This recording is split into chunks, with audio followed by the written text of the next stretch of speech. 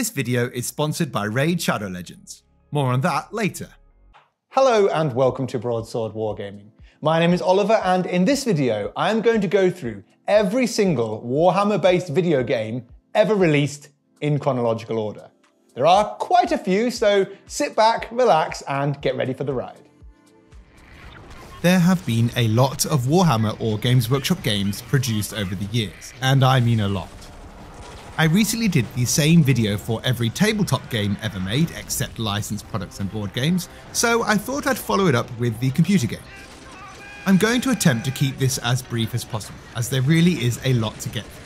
But some of these deserve a little more time than others, as they were instrumental in bringing the Warhammer world into the more mainstream gaming market.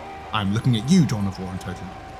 I've decided not to include the mobile games because I feel they vary hugely in quality and are more recent, so haven't had much of an effect on the Warhammer gaming industry in general.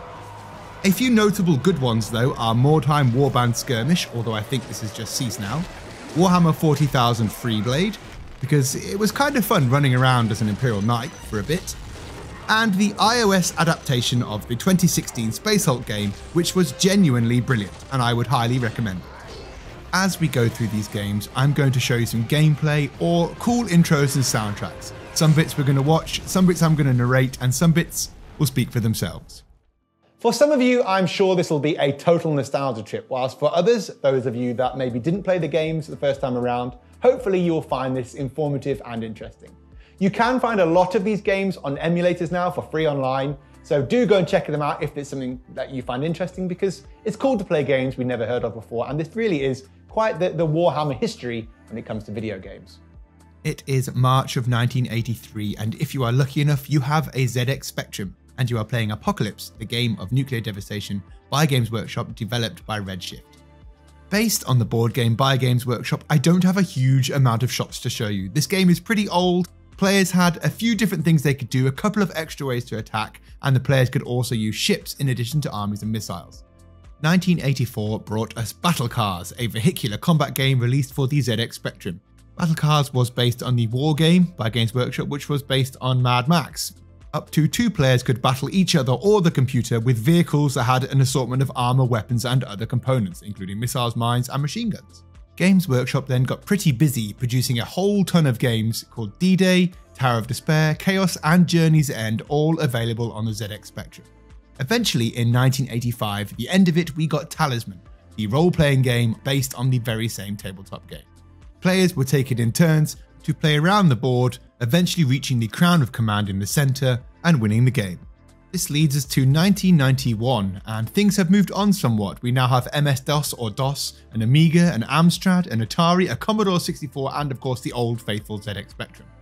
1991, published by Gremlin Interactive, developed by 22-1 Software Development, was an adaptation of the 1990 very successful Milton Bradley HeroQuest. Just one year later, 1992, Space Crusade was born. Based on the tabletop board game again by Milton Bradley and Games Workshop, this was the first video game set in the Warhammer 40,000 universe. It was a pretty faithful conversion of the original board game with a digital board that could be viewed from both 2D and an isometric view. 1993 brought Space Hulk developed by EA with support from GW.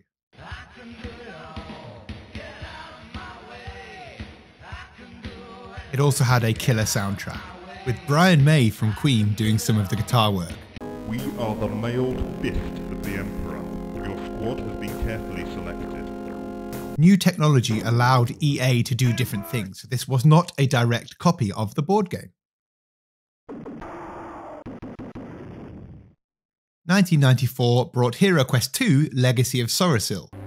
This was an isometric role playing game released on the Amiga and the CD32 by Gremlin Interactive. The game was very much like its predecessor with nicer graphics and a few more characters to choose from. Blood Bowl is the turn-based strategy game adapted from the Games Workshop miniature game, originally developed for MS-DOS by Destiny Software Productions and published by Microleague. A near straight copy of the game, this hasn't really changed a lot over the years, you will see a lot more Blood Bowl games, but it works perfectly as a video game and actually was pretty good. Technology then jumped on again, and by 1995, we had Space Hulk Vengeance of the Blood Angels. It was a video game published by EA, which was later ported to the PlayStation, Sega Saturn, and Microsoft Windows. Based on the board game, it was a sequel to the 1993 version you'd already seen, and like its predecessor, it combined first person shooter gameplay with real time tactic elements. For me, this is the start of the true golden age of the 90s Warhammer games. We are going to get hit after hit. Warhammer Shadow of the Horned Rat was released by Mindscape Games in November 1995 for Windows and the following year on the PlayStation. The game takes place in the Warhammer fantasy world and players focus on managing a group of mercenaries who become involved in stopping a plot by the evil Skaven. It actually won runner-up for Strategy Game of the Year, only losing to Command & Conquer. 1997, we got Final Liberation released on Microsoft Windows. Technology had moved on and we started to get cutscenes like this. Okay, Humie, let's see where you was going. All Humies die. We go to this place. We make good fight. It's a war! Perhaps not the prettiest of games, it was a pretty good representation of Epic 40k which was around at the time. It did actually get runner up for Best Cinematics Award and had a killer soundtrack. Another banger, I told you they were coming. This is a personal favourite of mine, released in 1998. Chaos Gate is a video game set in the Warhammer 40,000 universe. You take on command of a couple of squads of Ultramarines as you do battle with the evil Word Bearers. Good, it's nice to know something's never change. The Traitor Marines, Chaos Demons, and their evil commander, Chaos Lord Zymran, fight against you as you level up in a kind of RPG, top down tactical based game. Warhammer Dark Omen was released in 1998 for the PlayStation and Microsoft Windows. It was a straight sequel to Shadow of the Horned Rat set a few years later on in the game. EA took the helm in this one, although it was still developed by Mindscape and Games Workshop. Better technology meant we could start incorporating line of sight, which was quite an advancement at the time. Warhammer 40,000 Rites of War was developed by Dreamforge and released in 1999. A turn based strategy game, you take control of the Eldar and Imperial efforts to defeat an invasion of the Tyranid High As we say goodbye to the 90s, we slide into the 2000s and the invention of the PS2. With this comes the first game, Tau Fire Warrior, released in 2003. A first person shooter developed by THQ, this story takes place over a period of 24 hours and gives us an insight into Tau life. It was generally well received by both players and 40k fans. Bursting onto the scene in 2004 was Warhammer 40,000 Dawn of War. Developed by Relic Entertainment and published by THQ, this was a real time strategy game like no other. You could play Space Marines, Eldar, Chaos Space Marines, and the Orcs in both single player and multiplayer modes. I'm going to cover the expansions here because it had Winter Assault in 2005, Dark Crusade in 2006, and finally Soulstorm in 2008. These expansions brought with them new factions. You could play the Imperial Guard, Tau, Necron, Sisters of Battle, and Dark Eldar. It was highly rated by critics and players and had cool one liners like this Cleanse, purge, kill! Warhammer Battle for Atluma was a PSP game released in 2006. An almost direct port of the Warcry collectible card game going around at the time, there wasn't a lot to phone home about. Released in 2006 for the N-Gage, Nokia's weird handheld mobile thing, this was actually the last game released for the console in North America. Glory in Death was a turn based strategy game with no real new mechanics. Released for Windows in 2006, Warhammer Mark of Chaos was a real time tactics game set in the Warhammer universe. According to the developers, it was a game focusing on the armies and battles while de emphasizing the tedious aspects of base and resource management. It had a follow up game called Battle March, released in 2008 for both Windows and the Xbox 360. The army of the Emperor is under attack. The game was received with mixed and extremely varying reviews, but overall, it was pretty good. Squad Command was published by THQ and released for the PSP and DS in November of 2007. With both single player and multiplayer options, the game featured the Ultramarines over a course of 15 missions as they fend off an incursion by, you guessed it, the Wordbearers. Warhammer Online Age of Reckoning was an MMO RPG based on the Warhammer Fantasy setting, developed by Mythic Entertainment and published by EA in 2008. The game ended up selling over a million copies and peaking at 800,000 paid subscribers. It was officially shut down in 2013, but a private server called Return of Reckoning has been run by fans and is running even now. We all love gaming, that's why we are here, and RPGs are an intrinsic part of our hobby. Well, this is where I transition into our video sponsor, Raid Shadow Legends. A tactical turn based MMO battle game with a strong emphasis on hero collection and development, Raid is great fun and completely free to play. With over 650 unique champions to collect from different factions with billions of ways to customize them, Raid offers incredible depth and caters for however you want to play the game. Personally, I like the option to be able to build and play my party any way I like. For me, that's the classic mix of damage dealer, healer, archer, and tank. The tactical combat system lets me utilize my party's strengths whilst taking advantage of my opponent's weaknesses. Use my link in the description or scan the QR code on screen to download the game and receive in game bonuses and the champion Tayrel. If you like the sound of that, MMA and pro wrestling fans will also recognize this amazing new legendary champion available in game now. It's Ronda Rousey. Not only does Ronda look strong, she's a real threat on the battlefield too. You can get this champion for free by playing Raid for 7 days between now and February the 20th. This game is available on both Android and iOS, so make sure to click on the link below or scan the QR code on screen right now to get all of those juicy bonuses. Right, let's get back to the video. Blood Bowl is back. It's 2009, and this game, developed by Cyanide, was another adaptation of the board game of the same name. It was released for Microsoft Windows, Xbox 360, Nintendo DS, PSP, iOS, and Android. In 2009, Cyanide announced a free expansion containing the Dark Elves, and in April 2010, they did an updated version called the Legendary Edition, bringing in 11 new teams. Dawn of War 2 was released in 2009, published by THQ and developed by Relic Entertainment.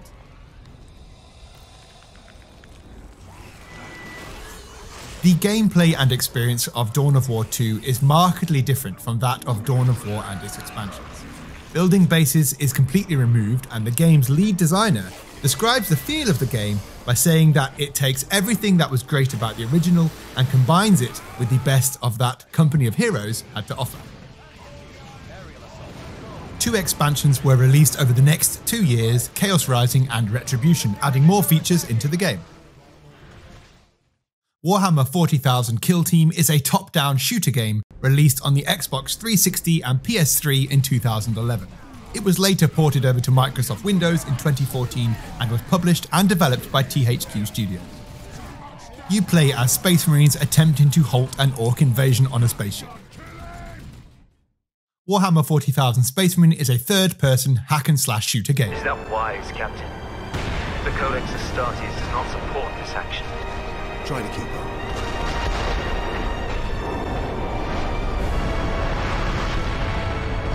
Developed by Relic Entertainment and published by THQ, it was released for Windows, the PS3, and Xbox 360 in 2011. The game takes place on the Forge world Graia, where you play the main character, Captain Titus, voiced by Mark Strong, and his subordinate veteran Sergeant Sidonis. It was recently announced that we will be getting a follow up, Space Marine 2, sometime soon. I bet you were worried we wouldn't see more Space Hulk. Well, fear not, we're going to see a lot more of it. Released in 2013 for Windows and Mac, it then followed up with iOS, Linux, the PS3, PS Vita, and the Wii U and the PS4 over the next couple of years. A straight copy of the 4th edition, nothing new to report. Other than that, Genestealer is really, really, really dead. And look, more Blood Bowl. Blood Bowl 2, released in 2015 by Cyanide and published by Focus Home Interactive, was a sequel to the 2009 video game. Still popular now with a good player base, a seriously good game, and in all of my years of playing Warhammer in any form, this game got me into Blood Bowl, and I can highly recommend it, so do go out there and grab it on Steam. Warhammer 40,000 Armageddon was released in 2014, developed by Slitherine Games and released by the Lord Game Studio and Flashback Games. It was another turn based strategy, very much like the old game Final Liberation. To be honest, it plays almost identically, and I have to say, for a game made 20 years later, the graphics haven't improved that much. I told you you'd be getting more Space Hulk, and don't worry, this isn't the last one either. Released in 2014 by Full Control, another turn based tactics game, pretty much the same as all of the previous ones, except in this one you get a few new chapters you can play, and you can level up your Terminators. The first interpretation of Mordheim City of the Damned was released in 2015 by Focus Home Interactive and Rogue Factor. A turn based tactics game released for Windows, the PS4, the Xbox One was based on the 1999 tabletop skirmish game. You lead your warband through various PvE or PvP missions and level up as you go. It wasn't a direct copy, it didn't have the same stats, but it did very much have that Mordheim feel. I recommend this one personally. Warhammer 40,000 Deathwatch Tyranid Invasion was released in 2015, produced and developed by Rodeo Games. A top-down turn-based strategy much like we've seen before, released for Microsoft Windows, the PS4 and the iOS. You have action points, blah blah blah, you've heard it all before. Kill some Tyranids. Warhammer The End Times Vermintide was released in 2015 as a cooperative survival video game developed and published by Fatshark. That is what they taught. No one spoke of the ancient enemy now rising from beneath, and no one will be left to tell the tale. Unless you can stem the. A co-op focused first-person shooter game set in the Warhammer universe you can choose from five different heroes a witch hunter, an empire soldier, a dwarf ranger, a wood elf waywatcher, and a bright wizard. Battlefleet Gothic Armada is a real time strategy video game developed by Tindalos Interactive and published by Focused Home Interactive. The first computer game adaptation of the 1999 classic Battlefleet Gothic board game, you can take control of one of six factions the Imperial Fleet, Chaos, Orcs, Eldar, Space Marines, and the Tau. We're here, it's the big one Total War Warhammer.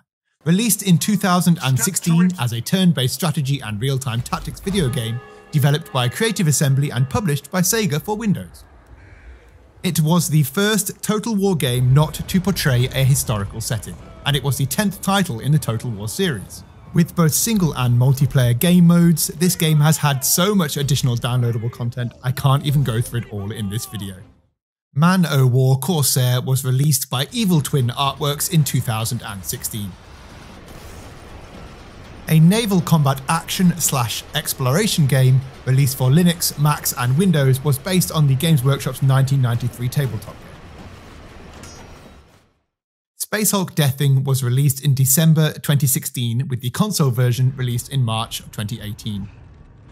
The story was co-written by Gav Thorpe, a longtime Games Workshop author and games designer. The designers expanded the gameplay environment beyond the narrow maze-like corridors of the original game and earlier video games to include massive open spaces such as a cathedral. Total War Warhammer 2 was released in September of 2017.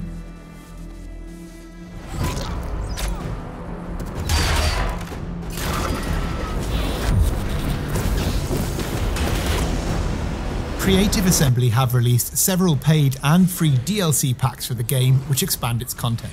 Mortal Empires, a massive combined campaign for players who own both Total War and Total War 2, was released in October 2017. Sanctus Reach was released by Slitherine and produced by Straylight Entertainment in 2017. A turn based strategy game for Windows was based on the 2014 Warhammer 40,000 campaign books, The Red War and The Hour of the Wolf. After nearly six years, Sega and Relic Entertainment brought us Dawn of War 3, another real time strategy game for Windows and Linux, and that is where it belongs. They somehow took all of the best bits from Dawn of War 1 and Dawn of War 2 and put them in the bin. Redacted. Blood Bowl Death Zone was released by Cyanide in 2018 a real-time tactics game as opposed to a turn-based one. I wasn't really going to mention it, but I said I'd do every game, so there it is.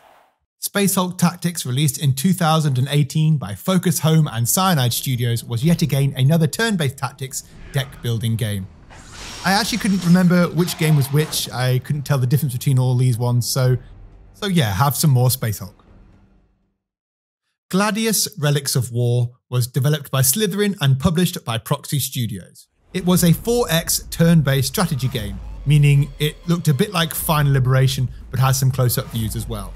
Out on Windows and Linux, it wasn't a bad game, it just wasn't a great game. If you enjoyed Final Liberation and Civilization, you probably would enjoy this one too.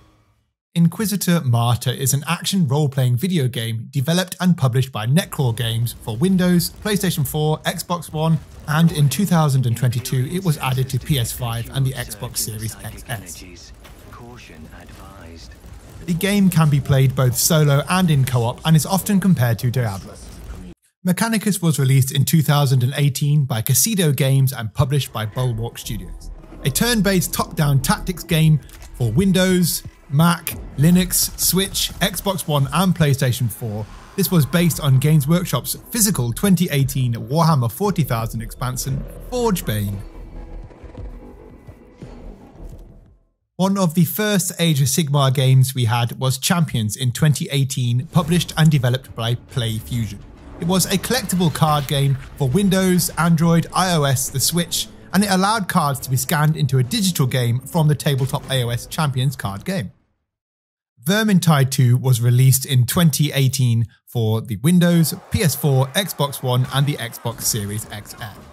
Following the events of the first game, the Greyseer Rasknitt has successfully captured the five heroes of Ubersreik. With tons of additional DLC, the game was hugely popular, and by the end of 29, it had sold over 2 million copies. Three years after the first one, we were given Battlefleet Gothic Armada 2. At launch, it included all 12 factions from the original tabletop game. With improved multiplayer modes, bigger battles, refined gameplay, and more customization, it was a much better experience. One year after the first game, Warhammer 40,000 Inquisitor Prophecy was a standalone expansion for Inquisitor Martyr. Same game, same rules, same plan, new stuff. Warhammer Chaos Bane is an action role playing game developed by Eko Software and published by Big Ben Interactive. It was released for Windows, PS4, Xbox One on May the 31st, 2019. Players get to choose to play one of six character classes from the Warhammer Fantasy setting, and the character must help save the Empire against the demons of chaos. Aeronautica Imperialis Flight Command was made by Greenman Gaming and distributed by Binary Planet a turn based strategy game for Windows, PS4, and the Xbox One. This was based on Games Workshop's tabletop game, Aeronautica Imperialis. Players had the option to take to the skies as the heroes of the Imperial Navy or command the Orc Airwar and lead to the planetary plundering. You decide. Necromunda Underhive Wars was released in September of 2020.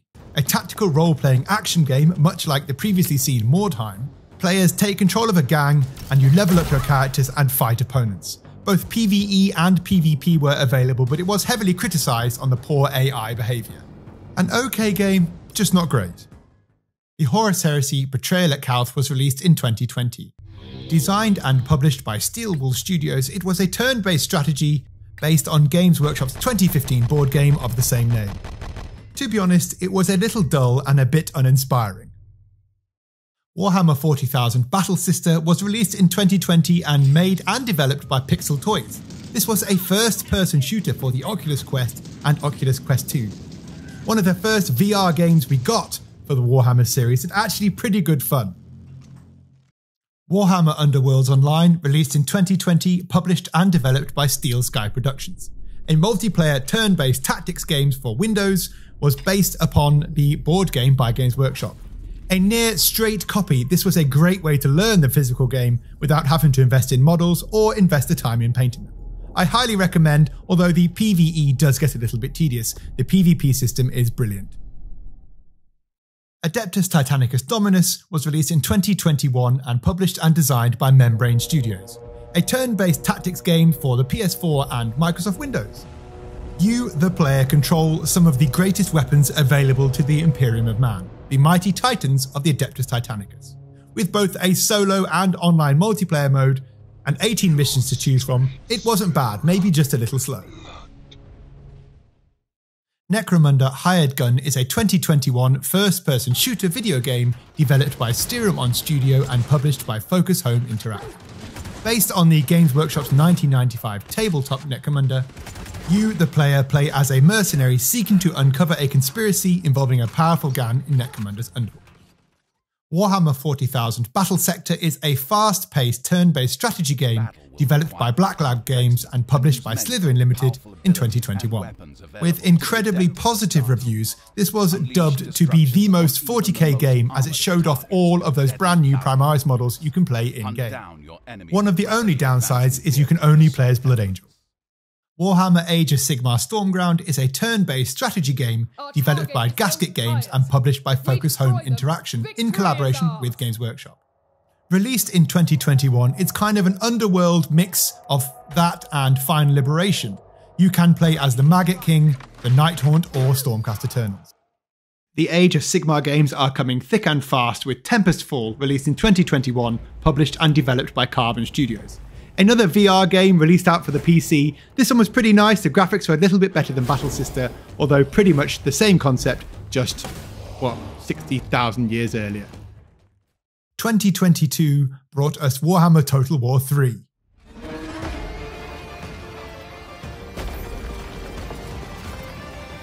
Like its predecessors, it was a turn based strategy game with real time tactics.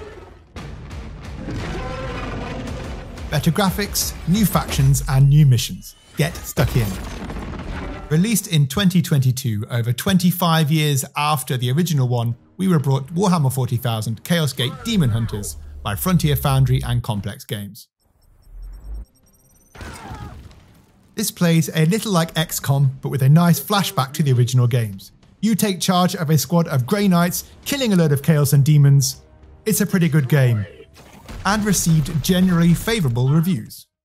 2022 brought us Shootas, Blood and Teeth by Rogueside Games, a run and gun style 2D platform throwback, I guess, to kind of a 90s, 80s game. This one's a bit of fun.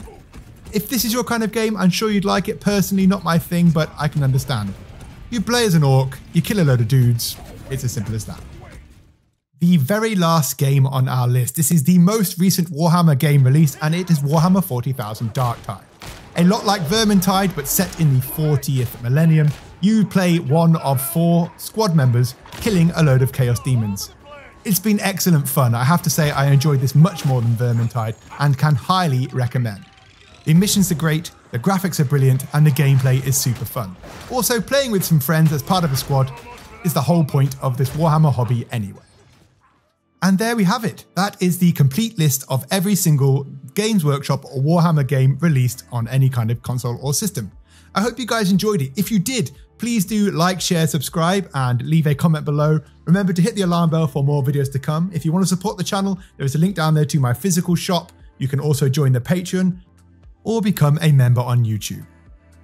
Thank you to our video sponsors Raid Shadow Legends. The game is available now on both Android and iOS, so make sure to click on the link below or scan the QR code on screen right now to get all of those juicy bonuses.